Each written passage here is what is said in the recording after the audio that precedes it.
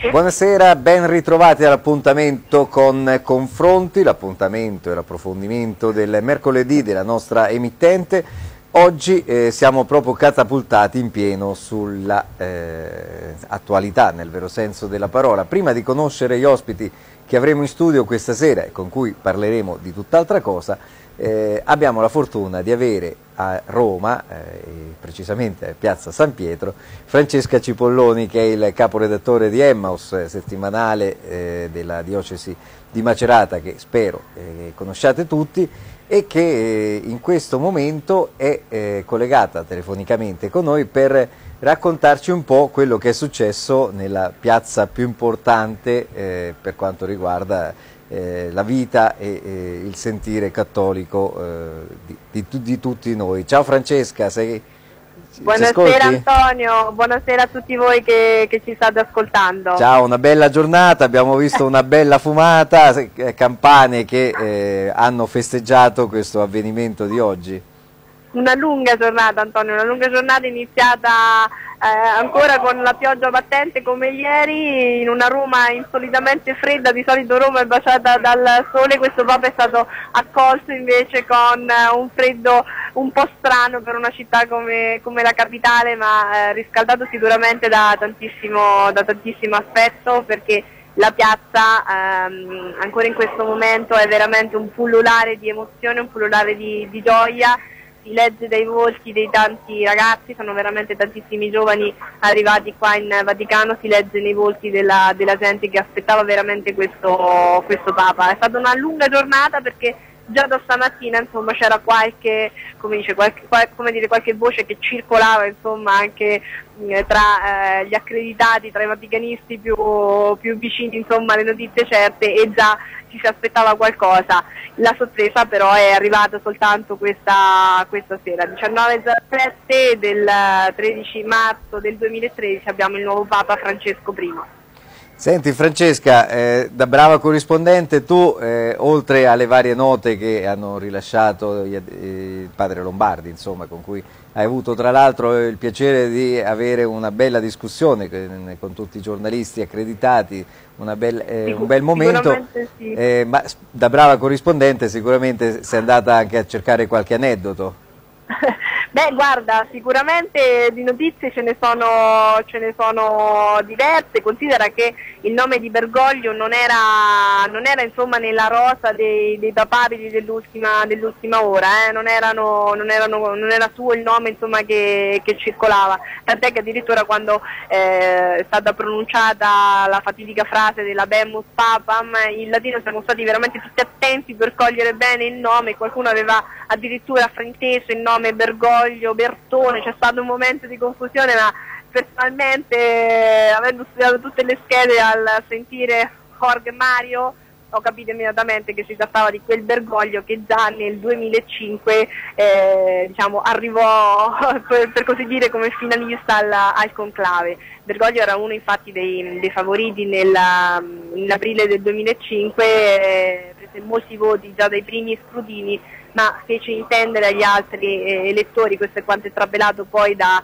dai diari dei cardinali elettori dell'epoca, fece intendere di non essere pronto a questo passo così importante, quindi eh, il suo nome già era stato, mh, mm, era stato accreditato, era stato già accolto nella, nella, rosa degli elettori. E poi accadde che durante anche le, le conversazioni, durante i confronti, insomma, ehm, risultasse un po' chiara questa non piena disponibilità all'elezione a, a pontefice all'epoca. Probabilmente la Chiesa ancora non era pronta a una novità così grande, oggi i tempi evidentemente sono più maturi, la Chiesa ha scelto un Papa del Sud America, quindi si apre a mio avviso una nuova stagione per, per la Chiesa. Oh, lui... eh, come accennavi tu ho avuto l'opportunità proprio poco fa insomma, di carpire qualche, dire, qualche, informazione in più, qualche chicca, qualche primizia per raccontare alla nostra macerata e eh, dialogando con eh, il collega Lucio Brunelli del TG2 posso testimoniarvi di aver letto negli occhi del giornalista una eh, sincera emozione. La prima cosa che mi ha detto è stata tre giorni fa ero a pranzo con lui. Quindi penso che sia, sia, una sorpresa per, per tanti, sia un'emozione un e eh, il, il collega mi ha eh, confermato veramente la grandezza spirituale di quest'uomo che è stato scelto come successore di Pietro e io penso che eh, sia, sia, una scelta mh, giusta, una scelta accolta subito con uh, grandissimo affetto. Guarda, alla, alla, alla, fumata bianca, la stessa fumata bianca di stasera è esploso immediatamente un boato qua in piazza San Pietro, la gente è esplosa in un'emozione di gioia, le campane hanno eh, come previsto suonato subito a festa e poi questa, eh, ancora questa attesa crescente per eh, vedere e conoscere il volto del nuovo pontefice che si è affacciato alla loggia delle benedizioni. Quindi eh, nel momento in cui poi si è affacciato è stato anche, anche questo insomma, il, primo, dire, il, primo, segno insomma, di, di, dialogo che eh, il nuovo pontefice ha voluto intessere con tutti noi qua presenti. Oh, ehm Papa Francesco tra l'altro è un gesuita, Macerata eh, con i gesuiti ha un ottimo rapporto, no? Insomma, abbiamo... sicuramente,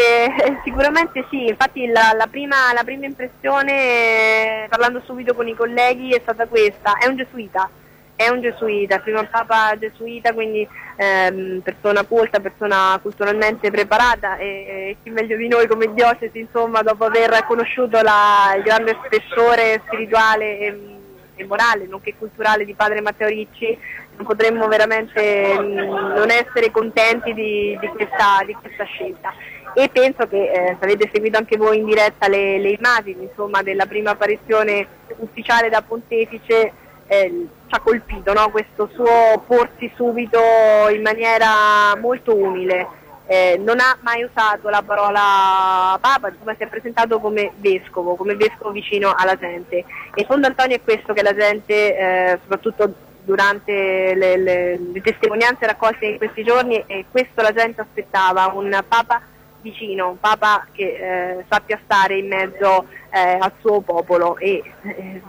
speriamo veramente che Papa Francesco sia veramente capace di testimoniare il, il Vangelo, ma eh, avendo un po' eh, conosciuto la sua, la sua, storia così per sommi capi, adesso chiaramente abbiamo delle note biografiche sommarie, ma sappiamo che ha avuto anche delle esperienze proprio di vita eh, reale insomma, con, con, il popolo, quindi è una figura che è capace insomma, di dialogare al, e di saper parlare al cuore della gente. Ci ha colpito anche questa, eh, così, questa figura eh, lievemente, apparentemente un po' impacciata anche con l'uso del, del microfono, quindi eh, questa figura così umile che si è posta immediatamente, ma eh, i giovani in particolare ne hanno subito ben voluto. Questa è stata la prima, la prima istantanea che posso raccontarvi da qua, quindi ci auguriamo che sia veramente l'inizio di una nuova, di una nuova stagione.